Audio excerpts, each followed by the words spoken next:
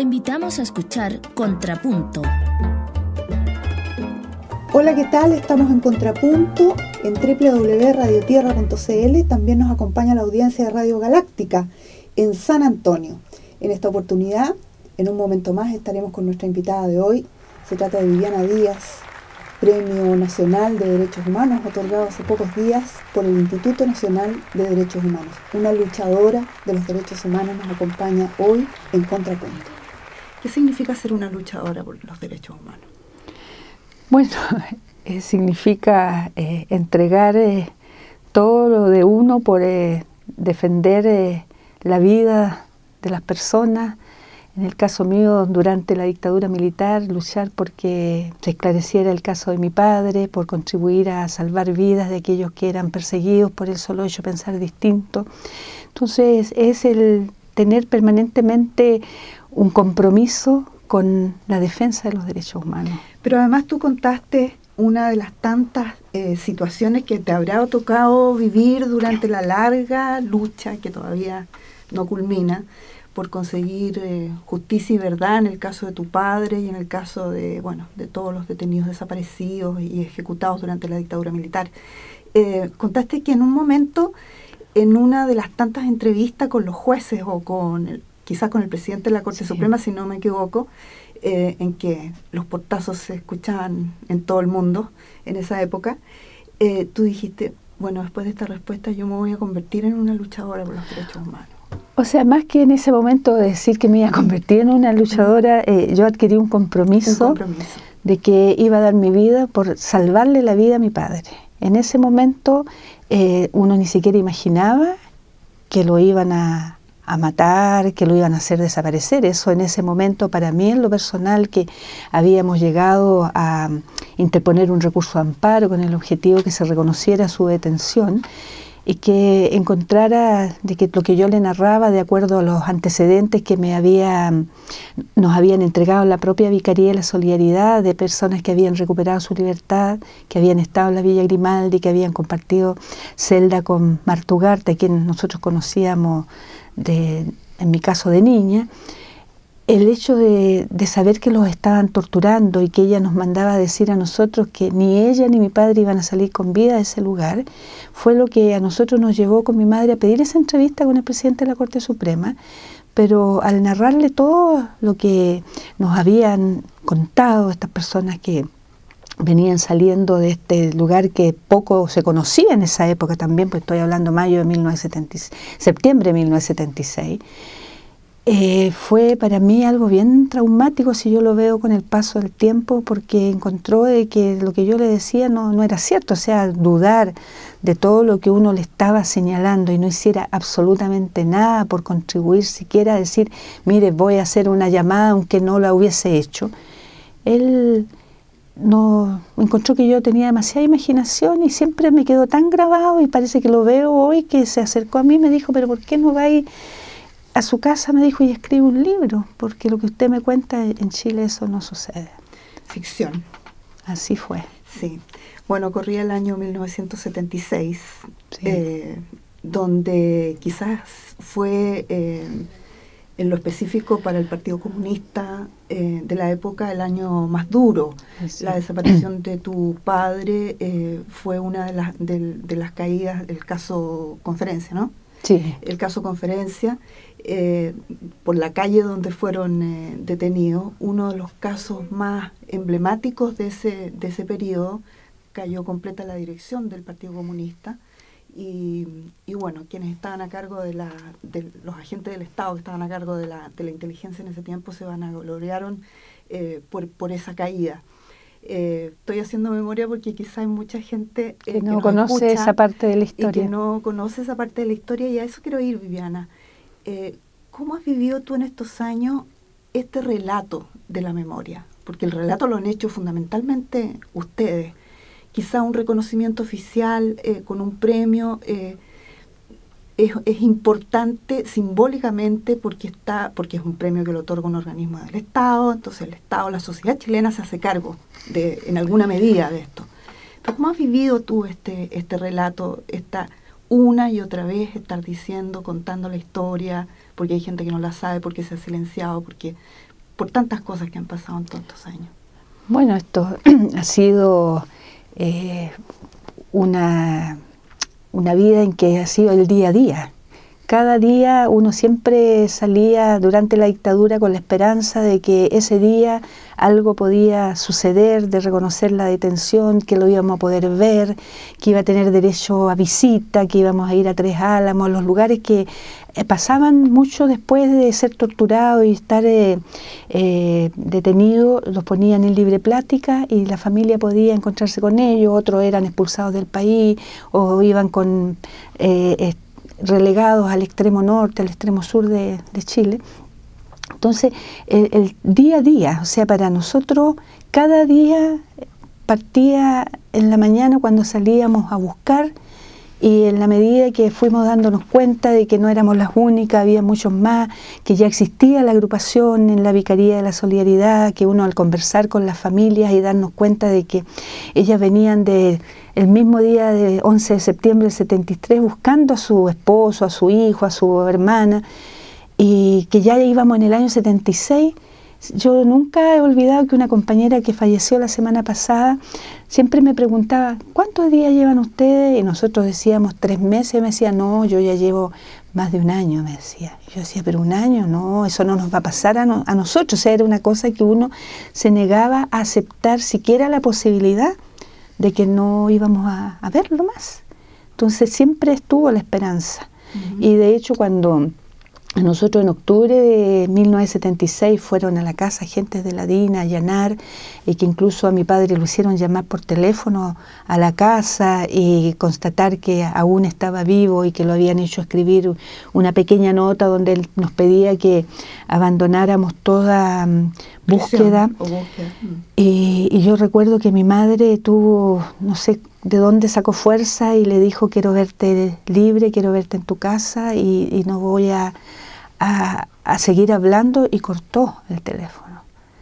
Fue un momento que después que eh, los de la DINA se fueron de la casa, uh, fue terrible para nosotros porque el escucharle la voz, mi madre, y reconocer lo que aún estaba vivo, y tener que llegar a, tomar esa decisión tan drástica que no podíamos nosotros aceptarle a los agentes de la DINA caer en un juego que no íbamos a, salir después de eso, se fueron muy molestos y bueno, nosotros estuvimos esa noche, no dormimos, siempre esperando que nos fuesen a buscar a, nosotros. Pero era como la mejor eh, prueba de que él estaba eh, todavía vivo, en, ese en, ese momento. y pensamos que en esa oportunidad él lo iban a matar. Nunca nos imaginamos siquiera que después de eso iba a estar vivo hasta la primera quincena de enero de 1977, que es lo que 31 años después pudimos nosotros saber. Sobre eso, Viviana, eh, bueno, se, se, ha conversado mucho eh, en algunos círculos, quizás no en toda la sociedad eh, chilena lo suficiente, pero esto de ir armando el puzzle de la memoria de a poquito, ¿no? Porque esto que relatas tú al final, eh, lo supimos hace cuántos, cuatro años, tres años en 2007, sí. Eh, con, la, eh, con el hallazgo de un nuevo centro de detención que no se había conocido antes, que es el famoso cuartel, de exterminio Simón Bolívar. Simón Bolívar, donde fueron a dar la mayoría de los dirigentes del Partido Comunista desaparecidos a esa fecha. ¿Cómo lo han vivido ustedes como, como familia y tú en lo personal esta esta memoria de fragmentos es cada vez eh, tan duro como al principio, eh, tú sientes que la sociedad se ha ido abriendo a, una escucha mayor, a una sensibilidad mayor. ¿Cómo ha sido ese proceso? No, yo pienso que ha habido un avance en ese sentido porque 20 años atrás, cuando terminó la dictadura, había todavía muchos que creían que eran efectivamente los presuntos desaparecidos, nosotros los supuestos familiares, que fue como nos calificó la dictadura durante esa época, y el lograr convencer a nuestros propios compatriotas de que habían detenidos desaparecidos ya era un logro importante en esa época que no fue fácil eh, conseguirlo, porque tuvimos que realizar huelgas de hambre, salidas a la calle, muchas veces fuimos detenidas, tuvimos que encadenarnos en las rejas del Congreso, nos procesaron por ley de seguridad interior del Estado. O sea, tantas acciones que iban dirigidas primero a que se reconociera la detención, después que se le pudiera poner a disposición de un tribunal. 9.000 recursos de amparo interpusieron los abogados de la Vicaría de la Solidaridad, solo uno fue acogido y a mí también ese caso me, me marcó muchísimo, el de Carlos Contreras Maluje, que él después con, el, con los años uno ya viene a, conocer más en profundidad todo lo que él hizo para dar una señal de que estaba en poder de la DINA y inventa una, una reunión y en Avenida Mata con Nathaniel se tira las ruedas de una micro, lo atropellan y ahora a los años después uno viene a saber que efectivamente ya con eso él estaba sentenciado a muerte, lo, lo mataron cuando llegaron al lugar donde él lo tenía. Entonces, eh, eso de convivir día a día con los testimonios de aquellos que recuperaron su libertad, de aquellos que no volvimos nunca más a ver, de empezar a, conocer pequeños, los hallazgos de Lonquén, de Laja, el saber la forma en que ellos habían sido asesinados, cómo eh, en el caso de Lonquén de acompañar su familia y que hubo un compromiso, tuvimos que hacer una huelga de hambre de 10 días para que los cuerpos, el fiscal militar se decidiera a entregarlos para darle digna sepultura. Y cuando el fiscal se adquiere el compromiso y nosotros empezamos a preparar los funerales, Viene el director del Servicio Médico Legal y secuestra los restos y va y los lanza a una fosa común del cementerio de, parroquial de Isla de Maipo. Ahí uno sentía como que el mundo se le venía encima porque no podía creer que una cosa así pudiese suceder. Entonces ahí, en ese caso, se nos ocurrió con el tiempo eh, poder eh, construirle al cementerio parroquial una nueva fosa común con el objeto que esa se sellara definitivamente. Y uno hoy día lo mira y dice, ¿cómo se nos ocurrió haber hecho una, una nueva fosa? Porque con los años el hecho de haber eh, sellado esa otra permitió la exhumación de los cuerpos, permitió que pudieran ser nuevamente identificados, solo de los 15 hay dos que no han podido todavía ser identificados plenamente. Claro, es una intuición súper importante porque en medio de ese de ese afán diario de, tanto dolor y de tanta, sobre todo la, eh, el silenciamiento, la negación oficial de, la existencia de los detenidos desaparecidos, era muy difícil imaginarse una situación política, cultural, social distinta a la que se veía en ese minuto, porque era, era demasiado oprimente. Y mm, del año 90 para adelante, cuando se recompone el sistema político eh, democrático a media, digamos todavía, pero bueno, eh, democrático al fin, eh, ¿cómo has vivido esta, esta nueva etapa? Porque ha habido de dulce y ha habido de agraz también, ¿no? Claro, y no era... La, pelea se mantuvo y quizás el silenciamiento... Mm, dolía por, por parte doble, digamos, porque... Claro, porque no era lo que, nosotros... ¿no? era lo que nosotros imaginamos al término de la dictadura. Había habido una lucha permanente, se habían reorganizado los partidos políticos, por una parte estaba la Alianza Democrática, por el otro el Movimiento Democrático Popular, eh, el MDP, y uno pensaba de que terminada la dictadura iba a haber una decisión de gobierno de que aquí había que investigar los crímenes, los militares iban a ir a la cárcel y el gobierno de transición de cuatro años del presidente Patricio Elwin fue claramente mostrándonos que no era lo que nosotros habíamos esperado que sucediera. Yo lo señalaba días atrás cuando también quedó tan grabado en nuestras mentes eh, esto de que iba a haber justicia en la medida de lo posible en Chile, ya con esa frase uno decía, ¿cómo? En la medida de lo posible. ¿Dónde estaba ese compromiso de, que se tenía que cumplir, que se iban a investigar los, todos los crímenes? Y al final siempre se estaba pensando más en los represores que en las víctimas. Así lo vivieron Así lo vivimos. Y después nos encontramos con que ya el año 93 hubo hasta un proyecto de ley de punto final y estuvimos a punto de que esa ley se, aprobara. Yo recuerdo que tuvimos que hacer ayuno de 100 horas y ya cuando nos hallábamos a quién recurrir, eh, hubo una reunión con el presidente del Partido Socialista en ese momento, Germán Correa, y hacerle ver toda la historia para al final él va y casi le pide como algo personal al presidente Elwin para que le retirara la, urgencia. y el proyecto muriera. Si no hubiese sido Germán Correa el que estaba en ese momento, a lo mejor no habríamos podido nosotros como ha ocurrido en otros países. Claro, y que se hubiese dictado esa ley de punto final que nos impedía eh, poder eh, hacer justicia.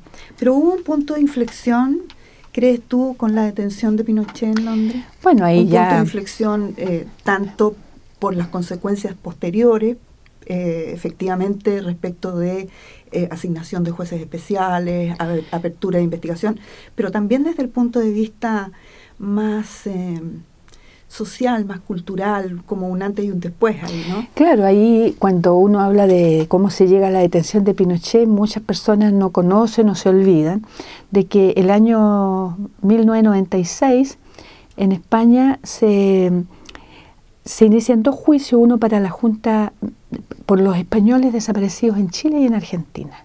Entonces yo recuerdo que estando con Sola Sierra, en paz descanse, ella me dice, mira, fíjate que se ha abierto este juicio allá, ¿por qué no nos hacemos parte de él? Entonces empezamos a, buscar, a comunicarnos con, recuerdo con don Víctor Pey, a recoger iniciativas y todo, y todos decían, no, eso es imposible, pero finalmente pudimos hacernos parte de ese juicio y tuvimos que eh, como se dice, enviar todos los documentos de la agrupación, legalizarlo en el Ministerio de Relaciones Exteriores, de Justicia, y empezar a mandar los casos que nosotros creíamos que en España podían ser eh, eh, investigados. Y de hecho, ahí se designaron dos jueces, uno para el caso argentino, que fue el juez Baltasar Garzón, y para nosotros el juez Manuel García Castellón.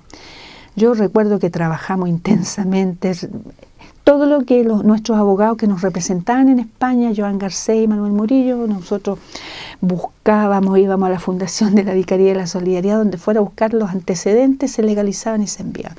Y eso es lo que en definitiva lleva a la detención de Pinochet el 16 de octubre, que es el día más feliz que hemos vivido todos los familiares. Yo siempre lo digo y creo que eh, era el mayor logro que nosotros podíamos alcanzar. Jamás nadie imaginó que Pinochet iba a ser detenido, y menos en el país donde él se jactaba de que estaba su amiga Margaret Thatcher y que lo iba a acoger siempre. Y estuvo 503 días privado de libertad. Y nosotros luchamos para que él fuese extraditado a España, porque confiábamos que en España él iba a ser juzgado, procesado y condenado. Pero al final primaron más las presiones políticas que se ejercieron desde el propio gobierno, chileno. que yo recuerdo haberlo conversado también eh, con el propio presidente Ricardo Lagos cuando estaba de canciller eh, José Miguel Insulza, y al final se pensaba más en el dictador que en, el sufrimiento de miles de chilenos y de los que... La primacía de la, gobernabilidad finalmente. Lamentablemente fue así y, y lo que sucedió con el regreso a Pinochet, como que uno ya lo conocía. Y yo siempre cuento una, una conferencia de prensa que nosotros dimos meses antes que Pinochet regresara a Chile. Y me pregunta un periodista que qué pienso, y yo le digo, mire, aquí nadie se va a extrañar el día que Pinochet, si regresa a Chile y atraviesa la cordillera de los Andes, se va a levantar y va a caminar. O sea, yo vi esa imagen que después se dio y recuerdo que un periodista de Estados Unidos se molestó y me dijo, ¿usted piensa que eso va a pasar? Yo creo que es imposible, me dijo. Entonces yo le respondí, se ve que usted no vivió los 17 años de dictadura que vivimos, nosotros conocemos a Pinochet como él, le dije. Entonces el día que pasa esto, que él regresa... ¿Y tal cual fue?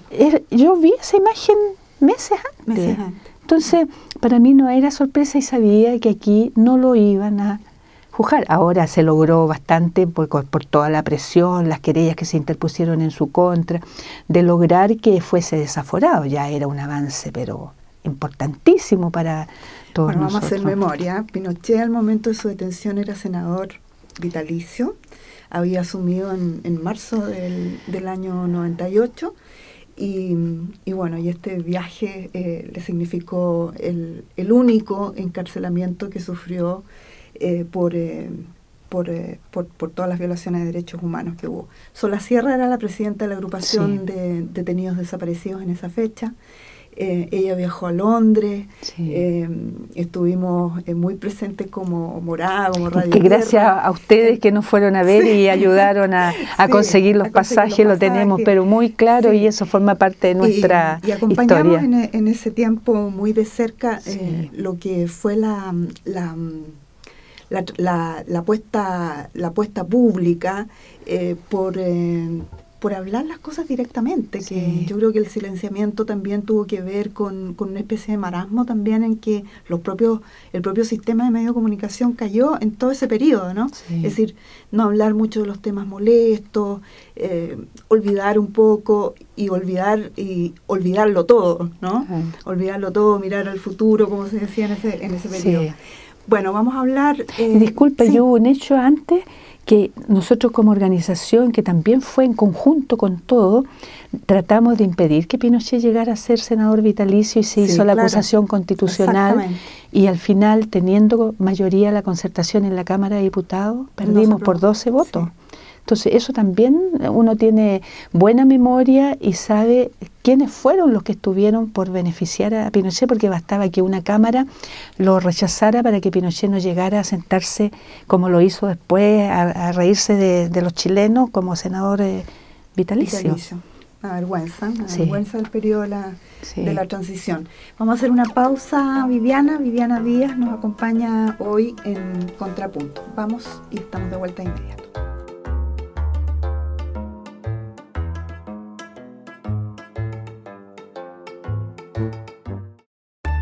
Contrapunto. Una mirada a la actualidad que analiza la semana noticiosa con sus protagonistas. Movimientos sociales, ciudadanía, política y medios.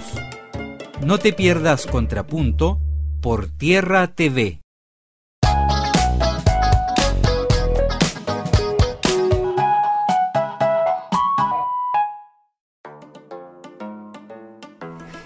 Viviana Díaz es nuestra invitada de hoy en Contrapunto. Eh, recibió recién el premio eh, por los derechos humanos 2011, el primero que se otorga por el Instituto Nacional de Derechos Humanos. Bueno, durante la premiación estaba, eh, se hizo en el marco de un caso que ha conmovido también desde el punto de vista de los derechos humanos, del respeto a la dignidad humana, a la sociedad chilena, en el caso de Daniel Zamudio, que recibió una golpiza por su condición eh, homosexual y finalmente fue murió después de una larga agonía. Tú lo recordaste, lo dedicaste también el premio un poco también a él eh, por una sociedad de mayor respeto a los derechos humanos, a su dignidad y a la diversidad Claro, porque en, el fondo eh, uno por todo lo que ha vivido los derechos de las personas no pueden ser eh, avasallados y menos porque la persona tenga una condición eh, distinta. Y en este caso a mí lo que más me impactó en Daniel Zamudio fue la muerte que él, que él tuvo, eh, la forma de ensañarse estas personas que participan de esa golpiza y donde hoy cuesta tanto poder sacar una ley que condene esos hechos. Y esa es una responsabilidad de la sociedad chilena de, contribuir a buscar los mecanismos para evitar nuevos casos de, este, de, lo que fuimos testigos en el caso de este chico. Yo fui con otras compañeras al funeral vi la gran cantidad de gente que se sumó en el homenaje. Además de todas las velatones que se hicieron. De todo lo que se hizo. Entonces yo creo que también todo lo que nosotros hemos hecho a lo largo de estos años, de alguna manera, también ha ido contribuyendo a que haya mayor eh, sensibilidad y que ya la gente no se sienta ajena a lo que pasa como sociedad chilena, en donde tiene que haber respuestas y respuestas inmediatas para evitar que vuelvan a haber... Eh, nuevos casos, porque uno no quisiera que esto se transforme en una constante, porque siento que la reacción del país fue, en este caso, muy importante porque fue noticia en todos los medios de comunicación, se ha instalado un tema que antes era prácticamente tabú, donde hay un movimiento que también ha luchado, así como luchamos nosotros durante la dictadura en móvil, donde han logrado cosas bastante importantes. Sí. Eh, Viviana, ¿cuáles son las preocupaciones hoy día eh, tuyas, de otras compañeras eh, de la agrupación de detenidos desaparecidos respecto del cierre de casos? De, la, de, mantener cerrado o de cerrar ahora investigaciones que, como hemos visto, después de muchos años, efectivamente hay frutos, ¿no? Y se conoce partecitas o fragmentos de, la verdad. ¿Estamos ante una situación tal de cierre de casos? Mira, siempre hemos vivido con esa constante de que van a cerrar los casos desde el inicio de la transición, que distintas iniciativas que hubo, pero siempre ha primado lo que fue la detención con desaparecimiento en el caso de nuestros familiares. Los antecedentes siempre han estado en los tribunales de justicia y si no se investigaron no fue por nuestra responsabilidad, fue por responsabilidad del Poder Judicial.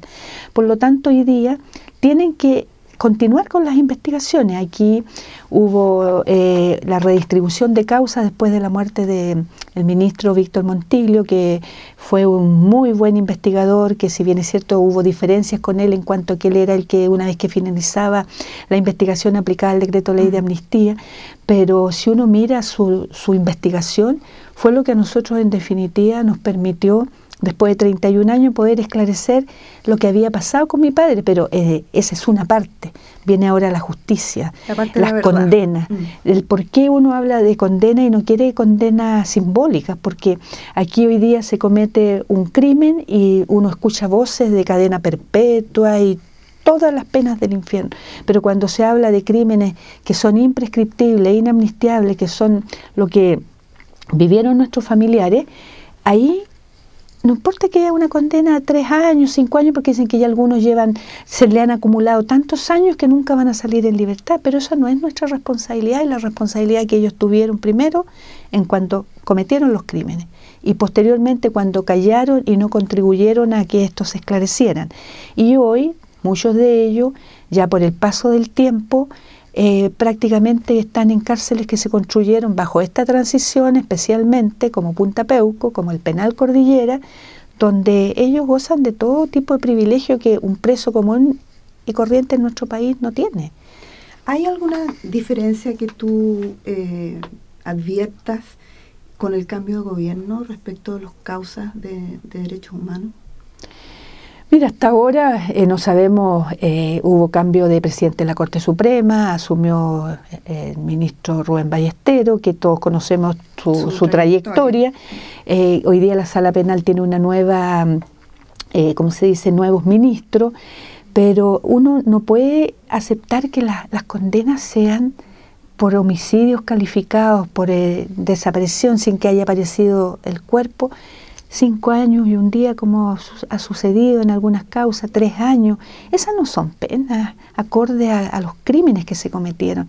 Nosotros necesitamos que la sociedad chilena asuma lo que pasó en nuestro país con el objeto que estos hechos tan terribles no vuelvan a, a repetirse. Entonces el Poder Judicial tiene una enorme responsabilidad porque en el pasado no hizo nada para salvar una vida. ¿Y el Ejecutivo? Bueno, el Ejecutivo también y por lo tanto el programa de Derecho Humano que depende del Ministerio, de la Subsecretaría del Ministerio del Interior, tiene que cumplir con su rol de estar eh, viendo las causas en tribunales las que aún están abiertas, porque la gran mayoría que se iniciaron en los tiempos del Comité de Cooperación para la Paz o la Vicaría de la Solidaridad siguen abiertas porque el secuestro es un delito permanente, que mientras la persona no aparezca viva o muerta, el delito se sigue consumando, por lo tanto esos procesos están eh, abiertos. ¿Y qué tan proactivo ha sido eh, este programa o Departamento de Derechos Humanos en este periodo? Bueno, o sea, si uno ve, eh, no todas las, causas están hoy día, pero más bien es porque la en la Corte de Apelaciones el camino también es, lento. Claro, mm. entonces las causas se demoran, eh, que primero en primera instancia, pues tienen que subir a la Suprema para las condenas. Hay varias aristas ahí también, porque por otro lado está lo que tiene que ver con las demandas civiles, que muchos familiares que ya han terminado la etapa judicial esa parte no se da porque se dice que ya los familiares fuimos reparados con la ley de reparación y eso no tiene que ver con la responsabilidad del Estado que tiene frente a estos crímenes tan atroces de reparar a, la familia eh, también económicamente.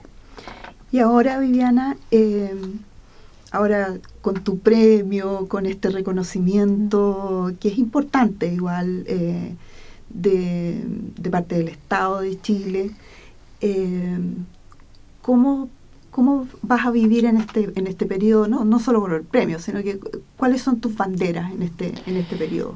Bueno, yo voy a seguir haciendo lo que estoy haciendo hasta ahora. Eh, trabajo con un grupo de compañeras en la agrupación en un proyecto que se llama Reconstruyendo Memoria que después de haber sido reconocidos por la UNESCO en el año 2003 como parte del registro de la memoria del mundo, estamos abocados a tratar de que las nuevas generaciones conozcan todo lo que durante la dictadura los familiares tenido desaparecidos hicimos por defender a nuestros seres queridos. Toda la parte que tiene que ver con la búsqueda, todo lo que tiene que ver con sus historias de vida, que eso está en la agrupación y hemos tenido que aprender de archivística, nos han dado clases, hemos tenido, así como aprendimos de leyes y aprendimos de tantas cosas, ahora en lo personal yo estoy en la parte de... Parece que nos va a tocar aprender también a hacer textos escolares. Bueno, porque ese también ha sido uno de los grandes desafíos de incorporar en la malla curricular la enseñanza de los derechos humanos. Y, con cuánto ministro de Educación no conversamos en su momento. están quitando la palabra dictadura. Entonces, también eso forma parte del trabajo nuestro. Entonces, eh, el hecho, por ejemplo, de, poder eh, visitar distintos lugares, a mí me gusta ir a cuando de liceos, que no son muchos, me han invitado, la experiencia que uno vive con los alumnos es muy importante y se lleva grandes sorpresas. Pareciera como que los niños no están informados, pero cuando tienen la posibilidad de conocer un testimonio, las preguntas son muchas.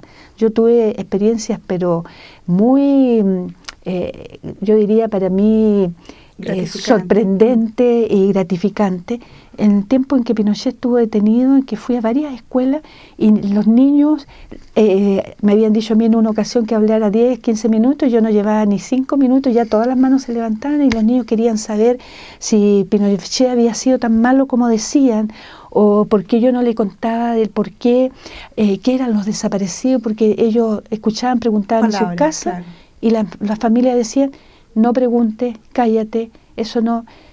Entonces uno se lleva sorpresa. Bueno, hartas sorpresas nos llevamos especialmente el año pasado con la, con la generación 2011 de estudiantes. Sí, pues. Viviana, muchas gracias. Muchas gracias por estar nuevamente a Radio Tierra, una radio muy amiga y de la cual queremos mucho y tenemos un gran reconocimiento por toda la labor que ustedes han hecho en pos de la búsqueda de nuestros seres queridos. Viviana Díaz nos acompañó hoy en Contrapunto. Viviana, luchadora por los derechos humanos, hija de Víctor Díaz, detenido desaparecido en el año 1976. Por pájaro enjaulado, por el pez en la pecera, por mi amigo que está preso, porque ha dicho lo que piensa, por las flores arrancadas.